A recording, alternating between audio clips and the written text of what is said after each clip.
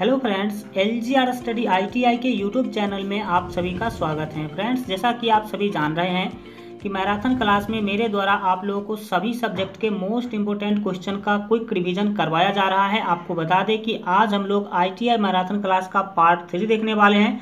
चलिए शुरू करते हैं। आपको बता दें कि आज के सेशन में हम फिजिक्स के मोस्ट इंपोर्टेंट क्वेश्चन को देखने वाले हैं। तो अगर आप लोग भी क्विक रिवीजन करना चाहते हैं मोस्ट इंपोर्टेंट क्वेश्चन का रिवीजन करना चाहते हैं तो ध्यान से समझने की जो है कोशिश कीजिएगा। पिछले सेशन में हम लोग फिजिक्स का साठ क्वेश्चन तक कंप्लीट कर चुके हैं। तो आज हम लोग इकसठ नंबर क्वेश्चन से आगे बढ़ेंगे। यहाँ पर आज का जो इकसठ नंबर महत्वपूर्ण क्वेश्चन है, पूछा जाए कि कार्य का मात्रक है। तो यहाँ पर आपका बी ऑप्शन सही होगा देखेंगे जूल जो है, वो क्या होता है? कार्य का मात्रक होता है। चलिए नेक्स्ट देखेंगे यहाँ पर आपके बासठ नंबर महत्वपूर्ण क्वेश्चन पूछा जाए कि प्रकाश वर्ष इकाई है।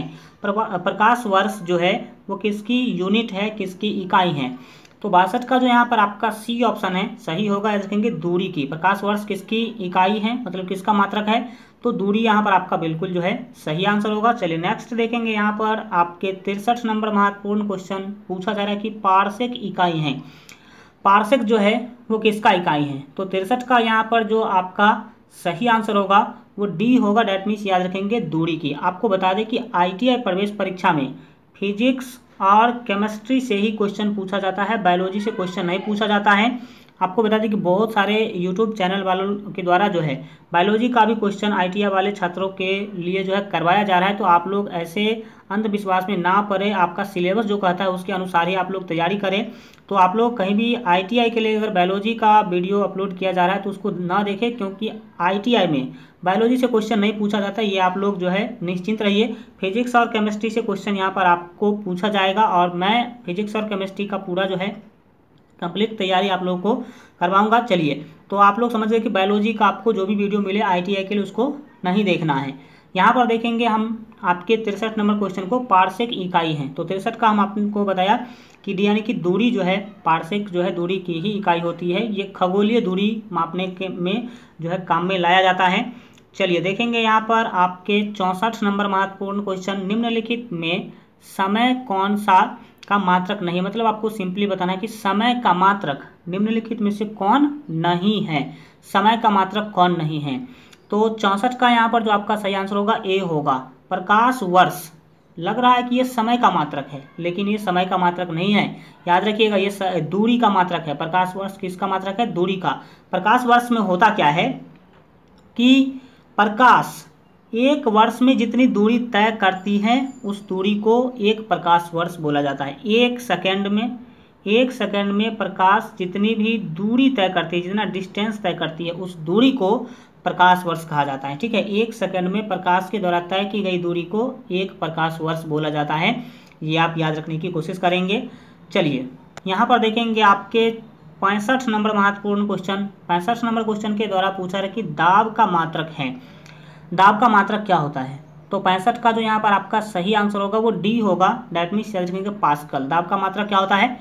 पास्कल होता है। चलिए यहाँ पर देखेंगे हम लोग जो है छियासठ नंबर महत्वपूर्ण क्वेश्चन ज्योति तीव्रता का मात्रक है। ज्योति तीव्रता का मात्रक क्या होता है? तो छियासठ का जो यहाँ पर आपका सही आंसर होगा, वो बी होगा डेट मीन्स याद रखेंगे कैंडेला यहाँ पर आपका बिल्कुल जो है सही जो है आंसर होगा।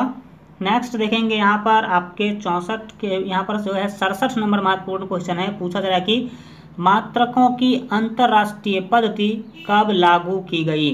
आपको पता होगा कि मात्रक का जो अलग अलग पद्धति है, जैसे आपका एफ़ पी एस पद्धति है सी जी एस पद्धति है एम के एस पद्धति है, ये सारा का सारा पद्धति पहले प्रचलित था, लेकिन अंतर्राष्ट्रीय पद्धति डेट मीन्स ऐसा पद्धति जो है, वो कब लागू किया गया?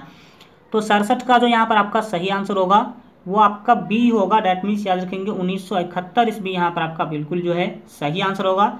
नेक्स्ट देखेंगे यहाँ पर आपके अड़सठ नंबर महत्वपूर्ण क्वेश्चन खाद्य ऊर्जा को हम किस इकाई में माप सकते हैं? और ये पूछा हुआ क्वेश्चन है, क्योंकि जिस टाइप का क्वेश्चन हमने सेलेक्ट किया है, वो जनरली आपके एग्ज़ाम में देखने को मिलता है। और ये क्वेश्चन डायरेक्ट आपके एग्ज़ाम में पूछा हुआ क्वेश्चन है अड़सठ नंबर। तो यहाँ पर आपका जो अड़सठ का सही आंसर होगा, वो बी होगा डेट मीन्स याद रखेंगे कैलोरी ठीक है? कैलोरी यहाँ पर आपका बिल्कुल जो है सही आंसर होगा। चलिए देखते हैं यहाँ पर आपके उनहत्तर नंबर क्वेश्चन। पूछा जा रहा है कि विद्युत मात्रा की इकाई क्या है? तो उनहत्तर का जो यहाँ पर आपका सही आंसर होगा, वो सी होगा। डैट मीन्स याद रखेंगे एम्पियर। आप सभी को पता होना चाहिए विद्युत मात्रा की जो इकाई है डैट मीन्स यूनिट है, वो क्या होता है? एम्पियर होता है। चलिए देखेंगे यहाँ पर आपके सत्तर नंबर महत्वपूर्ण क्वेश्चन। पूछा है कि ऐसा पद्धति में लेंस की शक्ति की इकाई क्या है? लेंस के शक्ति का इकाई क्या है पावर का जो लेंस का जो पावर होता है, उसका ऐसा ही मात्रक आपको बताना है। तो सत्तर का यहाँ पर आपका सी ऑप्शन सही होगा डायोप्टर यहाँ पर आप याद रखने की कोशिश जो है करेंगे। और लेंस का शक्ति निकालने का फार्मूला क्या होता है? तो याद रखेंगे, P बराबर वन बाई एफ़ पी बराबर वन बाई एफ़ और ये P क्या है? पावर है किसका? लेंस का पावर यानी पावर शक्ति निकालने की। और ये एफ़ क्या है? फोकस दूरी है, ठीक है? चलिए, इस फॉर्मूला से आप लेंस का शक्ति भी क्या कर सकते हैं? निकाल सकते हैं। नेक्स्ट देखेंगे यहाँ पर आपके इकहत्तर नंबर महत्वपूर्ण क्वेश्चन पूछा जा रहा है कि एम्पियर क्या मापने की इकाई है? एम्पियर जो है क्या मापने की इकाई है? तो इकहत्तर का यहाँ पर आपका ए ऑप्शन जो है सही होगा। याद रखेंगे करंट मापने की इकाई है। क्या मापने की? करंट मापने की इकाई है। चलिए आगे बढ़ेंगे। देखेंगे यहाँ पर आपके बहत्तर नंबर क्वेश्चन निम्नलिखित में से कौन? वेक्टर मात्रा है। कौन सा मात्रा? वेक्टर मात्रा मतलब वेक्टर क्वांटिटी निम्नलिखित में से कौन सी है? तो बहत्तर का जो यहाँ पर आपका सही आंसर होगा, वो सी होगा डेट मीन्स याद रखेंगे बल यहाँ पर आपका बिल्कुल जो है सही आंसर होगा। अगर आईटीआई प्रवेश परीक्षा के बेहतर तैयारी के लिए अभी तक आप हमारे मोबाइल ऐप को डाउनलोड नहीं किए हैं तो इस वीडियो के डिस्क्रिप्शन बॉक्स में आप लोगों को मोबाइल ऐप का जो है लिंक मिल जाएगा, वहाँ से ज़रूर आप लोग, जो लोग डाउनलोड नहीं किए हैं मोबाइल ऐप तो डाउनलोड कर लीजिएगा, क्योंकि वहाँ पर आपको सभी सब्जेक्ट के मोस्ट इंपॉर्टेंट क्वेश्चन का वहाँ पर आपको पीडीएफ मिलेगा स्टडी मटेरियल और वहाँ पर आपको 10 प्रैक्टिस सेट मिलेगा 10 साल के प्रीवियस ईयर का क्वेश्चन भी आपको मिलेगा आंसर के साथ तो जो लोग डाउनलोड नहीं किए हैं, इस वीडियो के डिस्क्रिप्शन बॉक्स में आपको दो मोबाइल ऐप का लिंक मिलेगा, दोनों का दोनों जो है आईटीआई प्रवेश परीक्षा के लिए काफ़ी महत्वपूर्ण है, जो लोग डाउनलोड नहीं किए, बस तीन से चार एम का ऐप है। तो ज़्यादा आपका स्पेस भी नहीं लेगा, जो लोग डाउनलोड नहीं किए तो ज़रूर कर लीजिएगा। काफ़ी फ़ायदा देखने को वहाँ से आप लोग को मिलेगा। ऑनलाइन टेस्ट का भी वहाँ पर सुविधा, जो बिल्कुल फ्री में आप लोग टेस्ट दे सकते हैं, ठीक है? चलिए, तिहत्तर नंबर क्वेश्चन है। निम्नलिखित में से कौन एक सदिश राशि नहीं है? तो तिहत्तर का जो यहाँ पर आपका सी ऑप्शन है, बिल्कुल ही सही होगा देखेंगे द्रव्यमान यहाँ पर आपका बिल्कुल जो है सही आंसर हो जाएगा। चलिए देखेंगे यहाँ पर आपके चौहत्तर नंबर महत्वपूर्ण क्वेश्चन पूछा जा रहा है कि अदिश राशि हैं। अदिश राशि निम्नलिखित में से कौन सी है? तो चौहत्तर का यहाँ पर आपका बी ऑप्शन जो है सही होगा। देखेंगे ऊर्जा जो है वो क्या है? अदिश राशि नहीं है। चलिए आगे बढ़ जाएँगे। और देखेंगे यहाँ पर आपके पचहत्तर नंबर महत्वपूर्ण क्वेश्चन पूछा जा कि निम्नलिखित में से कौन सी एक अधिस राशि सॉरी कौन सी एक सदिश राशि है? सदिश राशि के बारे में बताना है। तो पचहत्तर का सी ऑप्शन आपका सही होगा। देखेंगे संवेग जो है वो क्या है? सदिश राशि है। सदिश क्या होता है? जिसमें दिशा और मात्रा, जिसमें दिशा और जो आपका मैग्नीट्यूड और डायरेक्शन दोनों होता है, उसको क्या कहते हैं? सदिश कहते हैं। क्या कहते हैं? सदिश।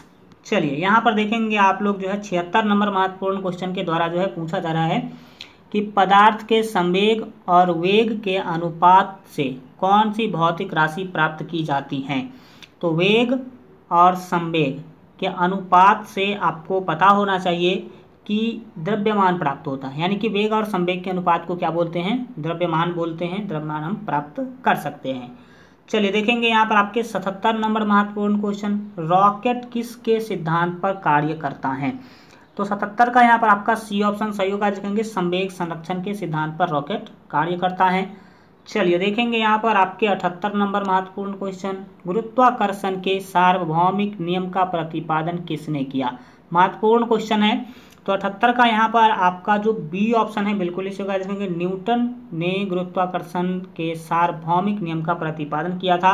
ये आप याद रखने की कोशिश करेंगे, न्यूटन को आप लोग तो सोच समझ करके भी नहीं भूल सकते हैं। जिन्होंने गति का तीन नियम जो है दिया था। नेक्स्ट देखेंगे यहाँ पर आप लोगों के उनासी नंबर क्वेश्चन पास्कल जो है इकाई है। पास्कल किसका इकाई है? तो उनासी का जो यहाँ पर आपका सही आंसर होगा वो ए होगा या देखेंगे दाब की। किसकी इकाई है? दाब की है। चलिए देखेंगे यहाँ पर आपके अस्सी नंबर महत्वपूर्ण क्वेश्चन क्यूसेक से क्या मापा जाता है? तो अस्सी का यहाँ पर आपका ए ऑप्शन सही होगा, जल की बहाव मापी जाती है। जल के बहने की जो स्पीड है, उसको मापी जाती है किससे? क्यूसेक से। नेक्स्ट देखेंगे यहाँ पर आपके इक्यासी नंबर महत्वपूर्ण क्वेश्चन है। निम्नलिखित में से कौन सबसे अधिक प्रत्यास्थ हैं। सबसे अधिक प्रत्यास्थ, यानी कि भिस्को सिटी को हम लोग बोलते हैं प्रत्याशता तो सबसे अधिक जो भिस्कस जिसको आप बोल सकते हैं इंग्लिश के अंदर, ठीक है? कौन सा है? तो इक्यासी का यहाँ पर आपका डी ऑप्शन, स्टील यहाँ पर आपका बिल्कुल जो है सही आंसर होगा। चलिए, नेक्स्ट देखेंगे यहाँ पर आपके बिरासी नंबर महत्वपूर्ण क्वेश्चन देखिए। वह कौन सा बल है जिसके कारण पिंड धरती के केंद्र की ओर खिंचा चला जाता है। और यह भी क्वेश्चन जो है पूछा हुआ क्वेश्चन है। तो उस तरह से आप लोग याद रखने का कोशिश कीजिएगा कि वह कौन सा बल है जिसके कारण पिंड जो है धरती के केंद्र की ओर खिंचा चला जाता है। तो बिरासी का यहाँ पर आपका सी ऑप्शन सही होगा। देखें गुरुत्वाकर्षण बल के कारण कोई भी वस्तु धरती के केंद्र की तरफ़ खिंचा चला जाता है। तिरासी नंबर क्वेश्चन है कि पृथ्वी के गुरुत्वाकर्षण का कितना भाग चंद्रमा के गुरुत्वाकर्षण के सबसे नज़दीक है? तो तिरासी का यहाँ पर आपका सी ऑप्शन सही होगा, जिसके लिए एक बट्टा छः एक बट्टा छः भाग जो है सबसे नज़दीक है। चलिए आगे बढ़ेंगे। देखेंगे यहाँ पर आपके चौरासी नंबर महत्वपूर्ण क्वेश्चन चौरासी नंबर क्वेश्चन के द्वारा पूछा जा रहा है कि आर के मिडीज का नियम निम्नलिखित में से किससे संबंधित है? तो चौरासी का यहाँ पर आपका सी ऑप्शन जो है सही होगा। देखेंगे प्लवन का नियम जो है वो यहाँ पर आपका बिल्कुल जो है सही आंसर हो जाएगा।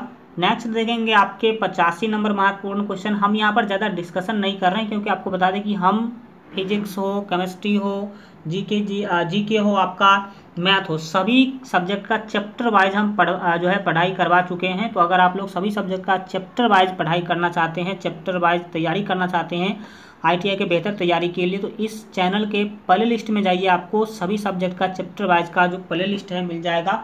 वहाँ से आप लोग जो है, बेहतर से बेहतर तैयारी कर सकते हैं।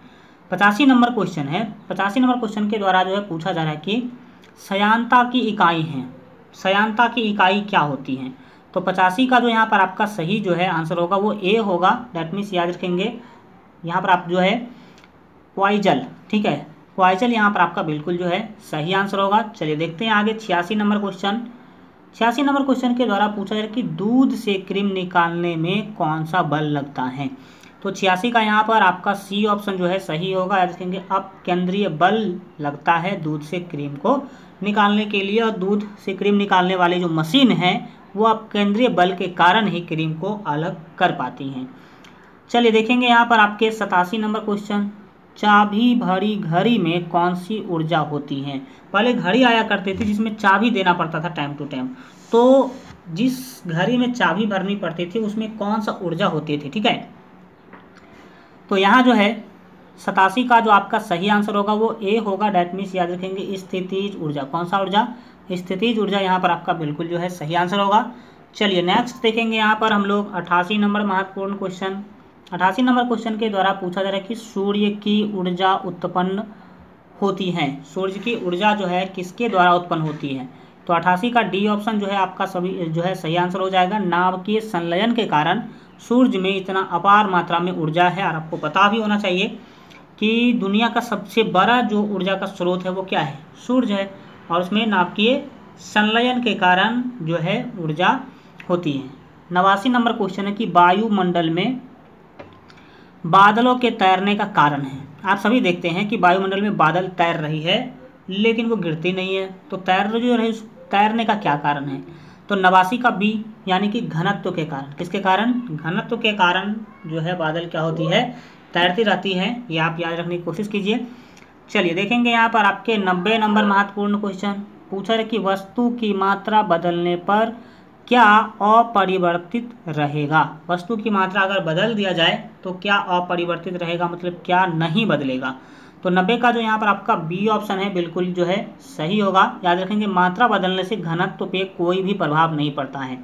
अगर आप मात्रा बदलते हैं तो उससे घनत्व, देखिए, पहले एक के था तो उसका घनत्व वही होगा। और दो के जी कर देंगे आप तो भी उसका घनत्व तो जो है वही रहेगा। घनत्व में मात्रा बदलने से कोई भी परिवर्तन नहीं होता है। अगर आईटीआई प्रवेश परीक्षा के बेहतर तैयारी के लिए अभी तक आप हमारे मोबाइल ऐप को डाउनलोड नहीं किए हैं तो इस वीडियो के डिस्क्रिप्शन बॉक्स में आप लोगों को मोबाइल ऐप का लिंक मिल जाएगा। तो वहाँ से मोबाइल ऐप आप लोग ज़रूर जो है डाउनलोड कर लीजिएगा। चलिए मिलते हैं अगले वीडियो में। तब तक अपना ख्याल रखिए और L G R study ITI देखते रहिए।